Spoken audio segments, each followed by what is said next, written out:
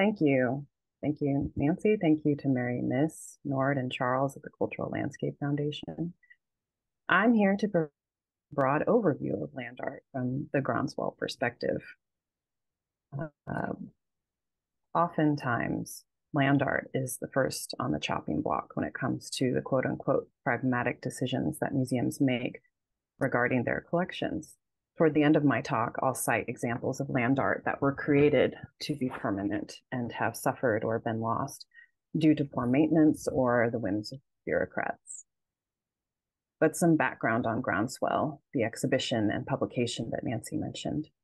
Using materials like earth, wind, water, fire, wood, salt, rocks, mirrors, explosives, American artists of the 1960s began to move beyond the white cube gallery space to work directly with the land with ties to minimal and conceptual art, these artists place less emphasis on the discrete object and turn their attention instead to the experience of the artwork, however fleeting or permanent that might be, foregrounding natural materials and the site itself to create works that were large in scale and located outside of typical urban art world circuits.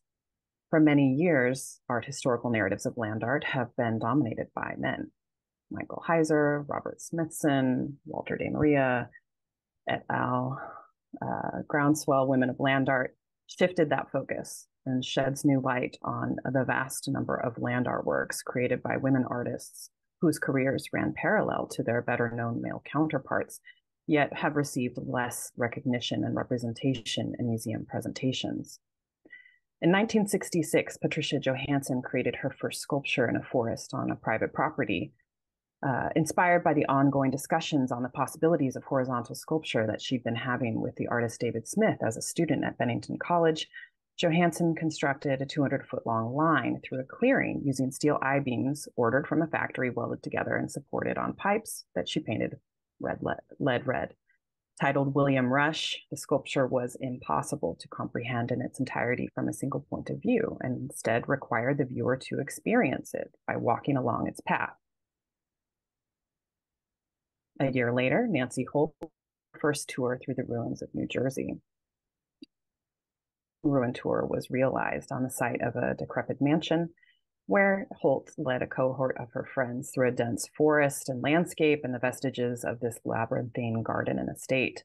And through her verbal guidance, she focused their attention on details of the environment that might have otherwise gone unnoticed. With Stone Ruin Tour, Holt explored perception and visual framing by investigating the relationship between words and visual details. It was ephemeral, performative, and it represented the artist's impulse to travel and to perceive the American landscape in new ways. It also foregrounded the viewer as intrinsic to the work, completing it through the shared experience. Three years after Johanson sited her first sculpture in a clearing of trees, Mary Miss installed three V shaped markers at 75 foot intervals across a broad New Jersey meadow. Simply titled V's in a Field, Miss's installation required the viewer to physically explore the terrain in order to grasp the marker's size. Each V served to frame a view that only came into focus when one stood directly in line with the marker. Miss later expanded on this idea of focused perception with Battery Park Landfill, composed of five billboard like wood panels installed at 50 foot intervals along the desolate Battery Park landfill from which the sculpture takes its name. Each panel measured roughly five and a half by 12 feet and bore a circular hole that appeared to descend into the landscape when viewed the when one viewed the installation head, long, head on. Uh, critic and curator Lucy Lippard noted in her review of the work, quote, the plank fences only false facades nailed to supporting posts on the back become what they are, not the sculpture, but the vehicle for the experience of the sculpture, which in fact exists in thin air or rather in distance. These works that I just introduced are just a few of the earliest examples of land art, varied in concept, materials, and execution, and inhabiting a range of manifestations object, experience, performance, or ritual they illustrate the remarkably the remarkable variety of artistic approaches that emerged in the 60s, flourished in the 70s and 80s. Common among these works by Johanson, Holt, and Miss, and those others in Groundswell, is this artist's immediate interaction with the land, the foregrounding of site specificity and experience, and the use of natural materials to evoke the landscape in abstract, or non-representational forms. Groundswell Women of Land Art, the exhibition and the publication, reinforces these ideas and demonstrates further that land art is multimedia work. It is made in both sparse and unpopulated and dense urban landscapes. It is linked to the development and popularity of public art and art parks, and it resonates with art being made today.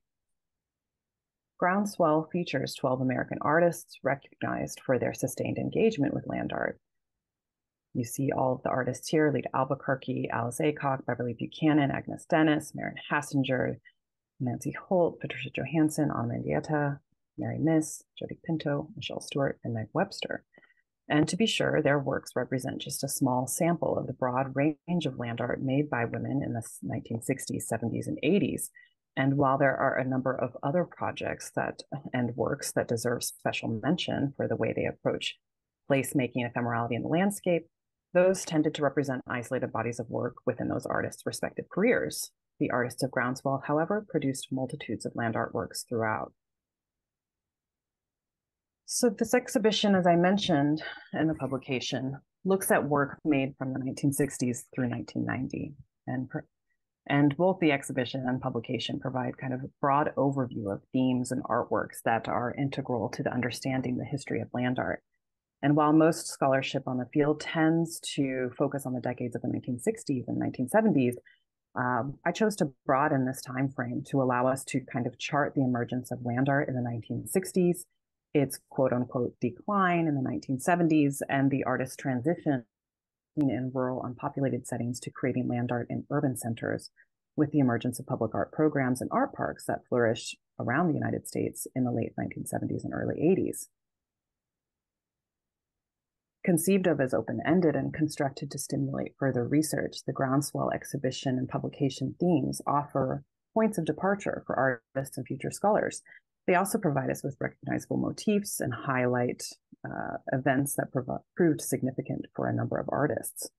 For the purposes of my talk today, I'm focusing in on the themes of architecture and ruins, and from land art to public art, as works produced within these themes tended to interrogate the issues of permanence and care, which are so central to our conversation today.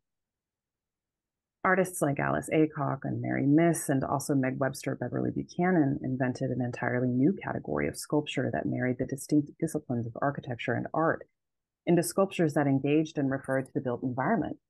The art historian Andrew Causey characterized such works as non functional architectural models and constructions, resembling fire towers, follies, bridges, ladders, uh, shelters, and enclosures of different kinds, such as tunnels an apt description of Alice Aycock's simple network for underground wells and tunnels, or Mary Miss's Perimeter's Pavilion's decoys. Toward the center of the field, oh, I'm going to quote uh, Rosalind Krauss here, quote, toward the center of the field, there is a slight mound, a swelling in the earth, which is the only which is the only warning given for the presence of the work.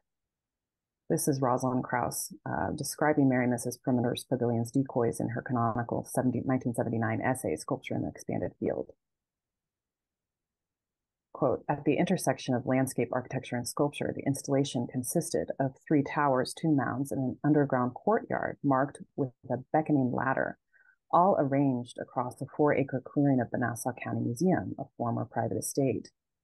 The work raised questions of scale and perspective from a distance, the towers appear identical, but at close range, they were either smaller or larger than expected.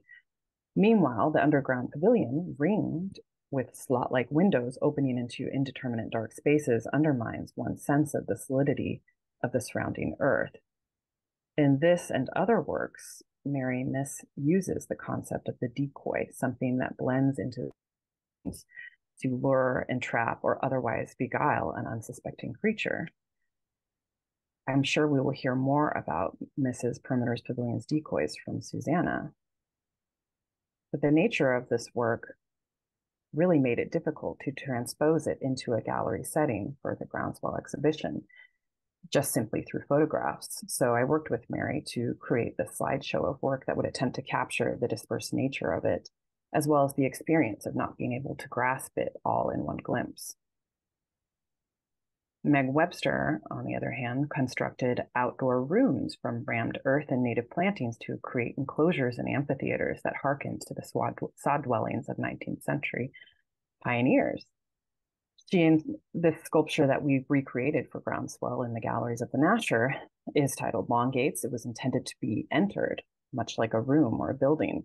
It's open at either end and it establishes space for viewers to see and encounter each other. She chose rammed earth for this sculpture, an ancient and sustainable building method that relies on compacted materials, in this case, a mixture of topsoil, sand, and cement, with walls rising just over four feet. One choosing to enter Long Gates may feel held, but not constrained, viscerally in contact with the smell of the earth. Beverly Buchanan's early cast concrete sculptures, references to construction, building, and notably ruin, are likewise a form of architectural sculpture, as she writes in an artist statement. I quote Often, when buildings are in a state of demolition, one or two pieces, frustula, stand out otherwise, never would have been created. This state of demolition presents a new type of artificial structure system that by, by itself, its undemolished state would not exist. These discards or piles of rubble can be pulled together to form new systems, and these new systems are very personal statements to me. They are inspired by urban ruins, but are created in my own image by me in concrete and painted with pigments. Buchanan incorporated these discards in her permanent site specific work, Ruins and Rituals, installing abandoned concrete footers that you see here, alongside cast concrete sculptures in an arrangement on the grounds of the Macon Museum of Arts and Sciences in Georgia. In an unpublished article on her work, Beverly Buchanan recounted to an interviewer the casual sexism she encountered in her interactions with male contractors on job sites in her own artistic practice.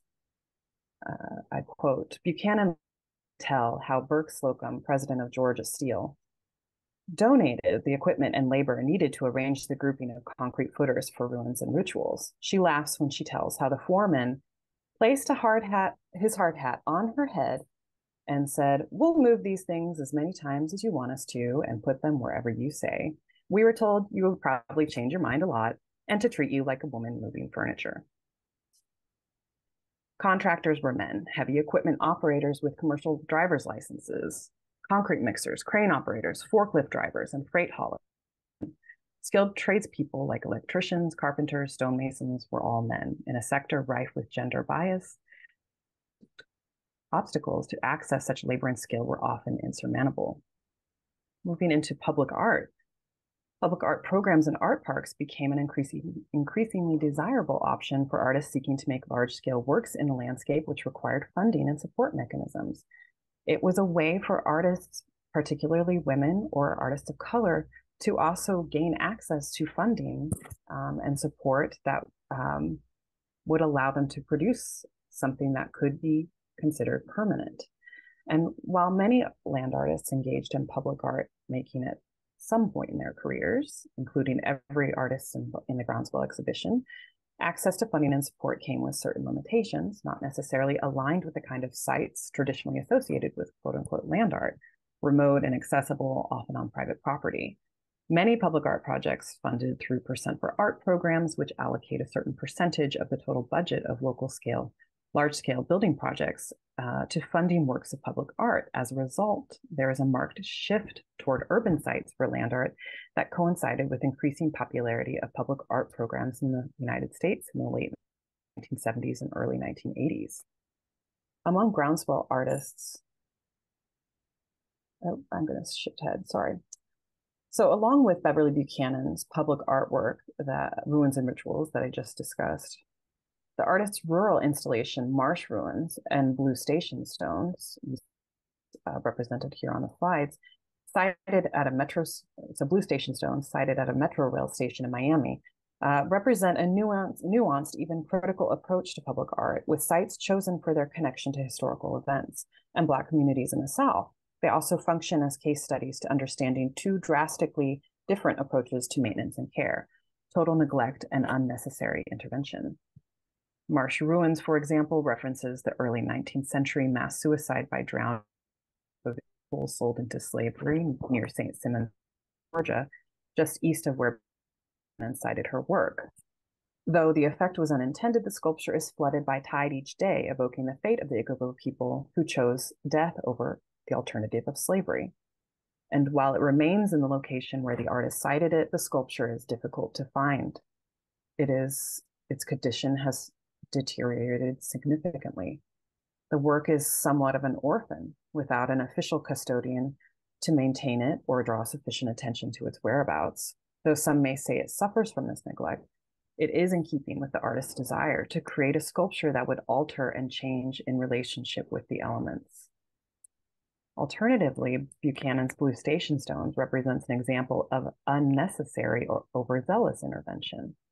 The color of blue station stones derived, is derived from the cobalt pigment that Buchanan added to the concrete when casting the forms, which, she, as she noted in an artist's scrapbook, cost nearly $10,000 just for the pigment. This meant the material was compositionally imbued with color throughout, not applied as a surface treatment. And as you see on the slide I'm showing here, that the image on the right is the color of the blue pigment in the concrete, uh, what the artist originally intended. And the image on the left shows the work as it, in its current state. Um, you can tell there's quite a difference in this blue. At some point in the history of this work, someone charged with its care decided that the color had dulled enough to the point of necessitating a paint job and applied a coat of blue paint that was significantly different than the blue of the original work, completely altering it and obscuring the artist's intent. Additional examples of destroyed, neglected, or deinstalled works that are kind of local to where I'm from in Dallas include Beverly Pepper's Dallas Land Canal and Hillside, it is the earliest example of a work of land art in Texas, and it was commissioned by the Nasher Sculpture Center's founders, Raymond and Patsy Nasher. Um, sadly, it was removed. It was, you know, it was built in 1970, and um, it was removed from its site in the spring of 2021. And as of this, as of the time of this talk, it has still not been reinstalled, and I have not been made aware of any plans to reinstall it. Other examples include Linnea Glatt's, A Place to Gather, which was bulldozed in 2021 to make way for a parking lot. Or Frances Bagley and Tom Orr's White Rock Water Theater, a City of Dallas Public Art Commission that was removed after neighborhood groups complained about the lack of maintenance and care that the City of Dallas was unable to fund in its restoration. But let's close on a higher note. I return to examples of public artworks that are properly maintained and can be uh, experienced in the way the artist intended. Jody Pinto's first permanent public artwork, Fingerspan, is a publicly funded, functional, and participatory artwork sited in a heavily wooded area on the banks of the Wissahickon River in Philadelphia's Fairmount Park. A sculpture as footbridge in the form of a bent finger measuring 59 feet across a steep ravine, Fingerspan signifies touch, and the connection between body and land. Pinto's design and choice of materials, Corten steel, is continually in flux, responding to environmental condi conditions through a process of oxidization. And it yielded a work that was praised by art critic Paula Marincola for being, quote, so well married to its site, it appears to have been there for a long time, end quote. In addition to Mary Miss's many public artworks, her 1984 essay, on a redefinition of public sculpture, address the changing needs of public space and the artist's role in bridging connections between developers, architects, art councils, local governments, and communities. Written as the artist was beginning work on South Cove, what would become her landmark public art achievement, Miss's Essay provides an overview of successful and less successful examples of public art in the preceding decade, referencing her own public art projects in line with those by Maya Lin, Richard Serra, Robert Morris, and Claes Oldenburg, among others. Miss later reflected, I quote from that now, it had become apparent to a number of us working in the 70s that the role artists had been assigned or accepted needed redefinition. Pursuing something apart from earthworks and site sculpture, we were interested not only in taking art outside the usual boundaries of the museums and galleries, but also in integrating it into people's lives. Often relegated to the status of cultural commentators, we felt it was essential that the insights and observations of artists actively shape our culture. We were interested in crossing boundaries, removing them, and occupying them as sites. It became apparent to our in our complex times that collaboration within fields and across disciplines is essential. End quote. The examples of land art that opened this talk, Johanson's William Rush, Holt Stone Ruin Tour, Miss's V's in the Field, and Battery Park Landfill, each epitomize the notion of an artwork that is impossible to comprehend from one distinct vantage point or to capture in its entirety through a single image. This concept reverberates throughout Groundswell. What Alice Aycock wrote about highways in her master's thesis that, quote, the experience is such that the whole of the articulated form of the road can never be seen at, seen at any one time. And even from the air, the whole of the highway network cannot be seen since it spreads in all directions, end quote, could apply to any number of works in the exhibition or publication. Moreover, much of the land art women artists made was site specific, intentionally ephemeral or unrealized, and a large portion of works that artists intended to be permanent have either been destroyed or suffered greatly due to lack of maintenance and care. As we consider these elements that constitute groundswell, the way of condensing the movement and women artists' involvement in it to a single point of view or frame of reference becomes apparent. The vastness of the work and activities of women land artists exceeds our field of vision, vision and has resulted in a scholarly oversight, rendering their work invisible because it could not be reduced to a single defining mm. image or conform to a more concise traditional narrative. The story told in Groundswell for the field of land art studies, bringing the practice of women artists back into view and revealing their radical, unique, and often frightening prescient works of art. Thank you.